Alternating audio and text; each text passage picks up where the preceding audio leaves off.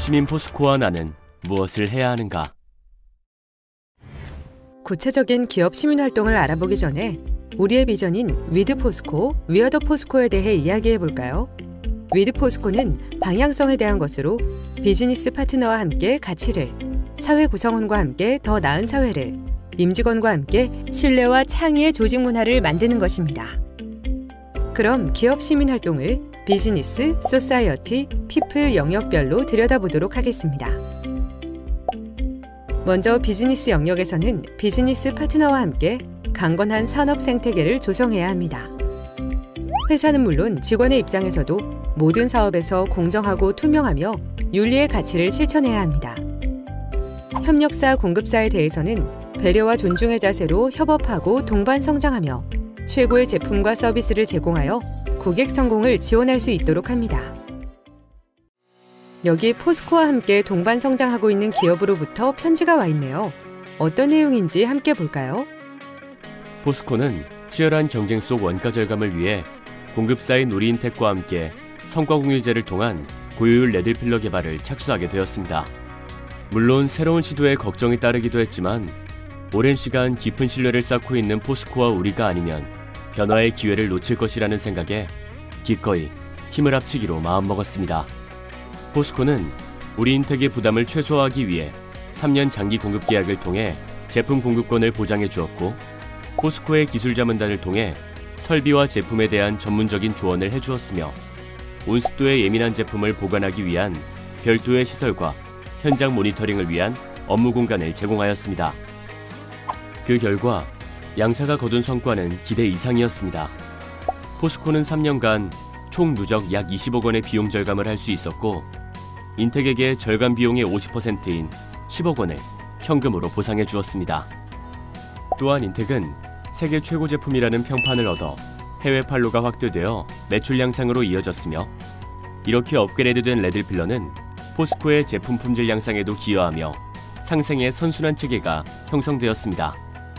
이 기간 동안 인텍은 직원 수가 30% 증가했으며 성과 공유제가 일자리 창출로 연결되어 실업난이라는 사회적 문제 해결에도 한몫하고 있음을 보여주는 좋은 사례입니다. 그럼 여기서 포스코 그룹 직원들은 동반 성장의 의미를 어떻게 생각하는지 들어볼까요?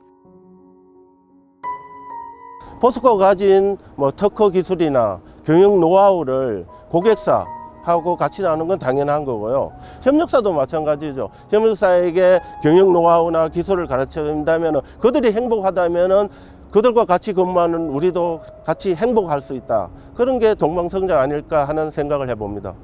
예전에는 기업과 임직원 그리고 또 대기업과 협력사들이 다소 수직적이고 종속적인 그런 관계였다면 앞으로는 좀 더 수평적이고 협력적인 관계에서 함께 어, 어떤 결실을 만들어가는 그런 거라고 생각을 하고 있습니다. 이처럼 포스코는 기업 시민 비즈니스 파트너십을 위해 다각적인 활동을 하고 있습니다.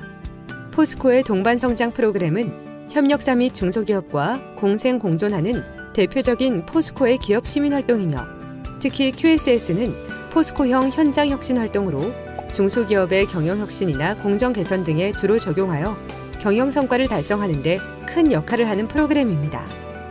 이러한 QSS의 적용 범위는 중소기업뿐 아니라 포항과 광양의 지역사회까지 확산되어 안전사고를 예방하는 획기적인 혁신 활동으로 인정받고 있습니다. 여기 포스코의 QSS 혁신 컨설팅을 지원받은 곳으로부터도 편지가 와 있는데요. 함께 살펴볼까요? 서한 안타민이 독자 기술로 개발한 내장재 안타민은 900도시에서도 타지 않는 혁신적인 소재로 유럽의 인증 마크를 획득하는 등 성능을 인정받았습니다. 하지만 높은 가격과 불량률로 인해 회사는 존폐 위기에 있었죠. 지푸라기라도 잡는 심정으로 포스코의 QSS 혁신 지원 사업을 신청하였고 마침내 2016년 1월 QSS 활동을 도입하여 약 3년간 컨설팅 지원을 받아 혁신 활동을 전개하였습니다. 근본적 문제 해결보다 생산량과 납기에만 급급하였던 서한 안타민은 QSS 컨설팅을 받은 후 크게 세 가지 변화를 경험하게 되었습니다. 투자가 성과와 비례함을 공감하게 되면서 경영층이 변화하였고 변화관리 교육을 통해 회사의 어려움에 전 직원이 공감하면서 직원이 변화하였으며 지속적인 현장 개선 활동을 통해 현장이 변화하였습니다. 그 결과 불량률은 3.5배 감소하였고 생산량은 2배나 증가하는 등 큰 성과를 낼 수 있었죠. 또한 서한안타미는 해외 전량 수입에 의존하던 불연내장 마감제를 100% 자체 기술로 개발에 성공하여 2019년 산업 훈장까지 수여하게 되었습니다. 그럼 포스코의 QSS 혁신 컨설팅을 지원받은 기업과 우리 이웃의 이야기를 더 들어볼까요? 예, 크게 개선된 점은 그 작업 환경이 개선이 됨으로써 우리 그 작업자들의 마인드가 굉장히 긍정적으로 변화가 되었습니다. 그러므로 인해가 설비 관리, 품질 관리, 원가 관리가 작업자에 의해 스스로 관리가 되면서 경쟁력이 되살아났고요. 환경적으로 많이 변화가 된 것 같습니다. 그래서 여기 오시는 마스터님을 통해서 아, 아이들이 오는 공간이니까 이렇게 했으면 좋겠다, 저렇게 했으면 좋겠다 그런 설명 많이 듣고 나서 아 그게 맞구나 하는 그런 생각을 많이 했고 이렇게 구석구석 이제 주변을 둘러보면서 물품이나 또 이런 게 또 노후된 게 있으면 교체도 해주시고 이 자리를 빌어서 정말 감사하다는 말씀을 전해드리고 싶습니다. 아, 포스코 QSS 덕분에 포항시 기관부터 해서 시장까지 뭐 어느 재래시장까지 구석구석이 지금 청결해지고 위생관리 철저히 하고 그래서 외부의 관광객들도 점점 늘어나고 있고요. 그 포항시 구석구석이 QSS를 함으로써 깨끗해지고 발전해 나갈 수 있는 것 같고 지금도 발전하고 있습니다.